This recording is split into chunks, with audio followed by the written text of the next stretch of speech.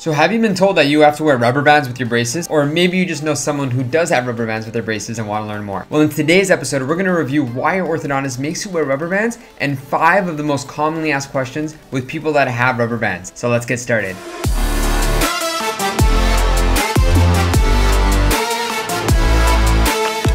What's up guys, Dr. Greg here back with another episode of Braces Explained. I hope you guys have all been doing awesome and had a great week. In today's episode, I want to expand on something that we talked about over two years ago, and that's rubber bands with your braces. Like always, I'm going to go ahead and put the timestamps in this corner, so if there's something you want to jump straight into, just go ahead and click over there, because I'm going to first review a little bit on how rubber bands work and why your orthodontist asks you to use them. So your orthodontist is an expert at lining up your teeth in the upper and lower arches and setting them up so that they can be in the most stable position within their bones. So your orthodontist can line your teeth up within the upper and lower arches independent of one another, but sometimes you might have your upper teeth that are too far forward, which will result in a big overjet, or what a lot of people call an overbite.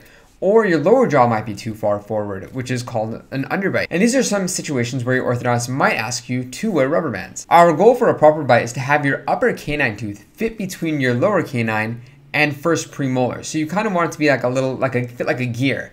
And that's what we call class one canine. That's a that's a proper bite. Yes, there's other things to a bite, like how much overbite and overlap and all those other things, which we'll talk about in another video. But regarding the canines, you want them to fit together. So if your canine teeth are too far forward compared to your lower ones, or your lower ones too far back. So if your upper canines are ahead of your lower canine and first premolar in that groove, that's called a class 2 bite. That means that your upper teeth are too far forward in relation to the lower.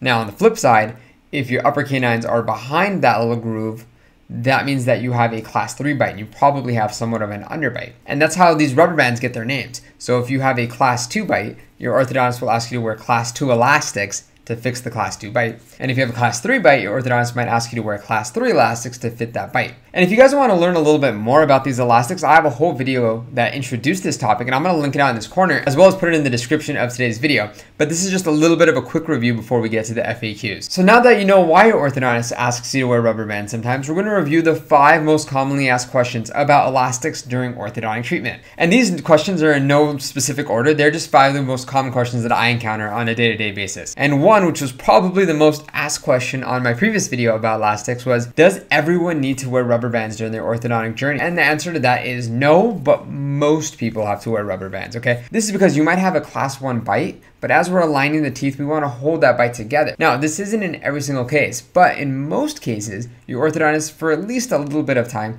will have you wear these elastics and these elastics will either hold your bite together or adjust it. Now, if your case is primarily a case where your bite needs to be corrected, you probably are going to have to wear your elastics more than someone who already had that class 1 bite to start off with. But that's not saying that every single person is going to need elastics. And if and when you get these elastics, I highly recommend everyone either ask their orthodontist if they provide this tool or purchase this tool online. It's kind of difficult when you first get your braces on to put your rubber bands on because it's it's a new motion that you're not used to. So I highly encourage everyone to use this tool. It has one side that actually hooks the rubber band and the other side that pushes it. And you can use it to help put your rubber bands in your mouth. Especially during these times with the coronavirus, you want to be careful not to be putting your hands in your mouth. So using this tool will be really, really helpful at putting the rubber bands on the teeth. And if your orthodontist doesn't carry these tools and you don't know where to get one, I'm to put a link in the description of today's video so you can get one on Amazon in case you need it. So let's move on to question number two that I get asked a lot. And that is, what if I run out of my rubber bands? Can I use my friends or buy more online? So for this question, I really don't recommend that you use anybody else's or anyone else's rubber bands other than the one that your orthodontist provided. This is because one, every elastic that your orthodontist prescribes has a certain strength and a size. So the size really depends on, you know, how big is this rubber band? Is it really small? Is it medium? Is it big? There's different sizes and there's also different strengths. So the strength is how strong is this rubber band at pulling. Now, if you can imagine your orthodontist wants a really, really light force, but you use your friends or you buy a rubber band online that has a strong force, that can really, really mess up the treatment plan. This is because let's say you're not in a strong enough wire, but you're using a really strong rubber band. That can really mess up the bite. So I know sometimes you might lose your elastics or your friend might have a colored elastic that you're jealous of and you want to use theirs. I don't recommend doing this. Let's say you're absolutely in a jam. You're not near your orthodontist to go back and pick up more, but you need more rubber bands. In cases like this, I'd recommend that you call your orthodontist and see what size and strength elastics you had. You can purchase some elastics online, but you have to be really, really careful that, like I said, they're the right size and they're the right strength. Also, if you guys have any sort of latex allergy, please be careful that if you were to purchase those things online, that they're also latex free. A lot of these rubber bands have latex in them, and your orthodontist has a special stash for those who have latex allergies, but when you're ordering online, no one's gonna double check that allergy for you. So please be careful if you are gonna buy elastics online. Be sure to get one that is the right size, the right strength, and if you have a latex allergy, is latex free. And this kind of perfectly leads into question number three, which is, can I double up my rubber bands? And this question I generally say, ask your orthodontist because it depends on where you are in your treatment. If you are in a strong enough wire, a lot of the times your orthodontist might say, you know what, go ahead and double up your rubber bands. That will help out. But if you are, like I said, in these early NiTi wires and really, really thin wires, you don't want to use too much force because, like I said, it's going to mess with your bite. If you're in these early wires, it's going to cause more harm than good. So you really have to be careful and ask your orthodontist if you can double up with these rubber bands. But what I usually see is when people ask this question, they think that okay, I could take off 12 hours and then wear double for the next 12 hours. And it doesn't really work like that.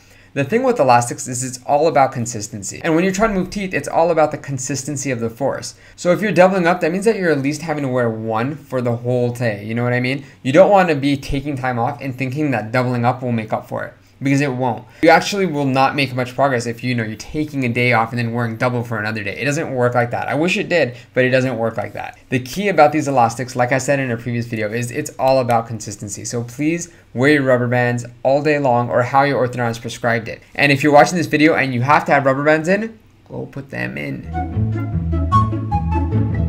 So let's move on to number four, and that is can these rubber bands actually break my braces off of my teeth because they're too strong? And the answer is no. Your rubber bands are not strong enough to actually break brackets off of your teeth. If you notice that you have a Bruce bracket, Bruce bracket, if you notice that you have a loose bracket, this means that you probably did something to break the bracket by eating a food or chewing on something that you shouldn't have, and you're just noticing now that when you put the rubber band on, the bracket's moving. If this is to occur, I recommend that you give your orthodontist a call so that they can schedule you and you know put that bracket back on your tooth. But the rubber bands aren't strong enough to actually break braces off of your teeth. If they did, we wouldn't be using them. It actually takes quite a bit of a quick force to like snap a bracket off of a tooth, and a rubber band isn't strong enough to do that. Even if you're doubling up, it shouldn't be able to break your braces. But like I said, what would break it is eating something that you shouldn't be eating. So please be careful, like I always say, to maintain good hygiene and avoid the foods that you shouldn't be eating in order to make your braces journey as pleasant and quick as possible. And speaking of eating, let's move on to question number five, which is can I wear my rubber bands while I'm eating? And this one really comes down to you. If you feel comfortable eating with your rubber bands in, there's no need to take them out. It actually would work just fine. It just seems a little bit difficult to eat with your rubber bands in. And this is for those people that are really good about wearing their rubber bands, but whenever they take them off to eat, they always forget to put them back on. So in those cases, if you feel comfortable, you can go ahead and leave your rubber bands on when you're eating. What I recommend is that you at least change your rubber bands three times throughout the day. The reason I say three times a day is because these rubber bands, you know, they get fatigued after a while and you want to keep changing them out so that they stay fresh and deliver that constant level of force to the teeth. But that doesn't necessarily mean that you have to change them out every single time that you eat. But you kind of want to change it out every six to eight hours just to make sure that there is that constant force. Be careful though, because if you're eating with these rubber bands in, there might have a higher chance that they snap just because they're constantly being fatigued from you opening and closing. They, they might break a little bit quicker. But bottom line is yes, you can eat with your rubber bands in. Just remember to replace them at some point throughout the day. And for the most specific answers with your case, like always, please have open communication with your orthodontist. They know your case better than I do or anybody else for that matter. So if you have any questions that are specific to your case, let your orthodontist know and have that open communication and that open dialogue so that you can have the most pleasant experience and braces journey. If you guys have any questions about elastics that I didn't address in today's video, please go ahead and leave it in the comments of today's video. And while you're down there, be sure to hit the thumbs up and the subscribe button if you haven't already. And if you guys have not yet joined the Braces Club, I am highly encouraging everyone that is a subscriber on the channel to join it. It's an online community on Facebook and where we discuss cases, where we talk to each other. It's a support group as well as it helps answer questions, keeps you abreast with what I'm up to. I hop on there and answer people's questions. So it's a really, really cool community. If you guys haven't joined it or checked it out, go ahead and do that. I'm going to put it in this corner as well as in the description of today's video. But yeah, that's pretty much much all I have for you guys today. I hope you guys enjoyed the video and I will catch you guys next week on another episode of Braces Explained. But for now, Dr. Greg out.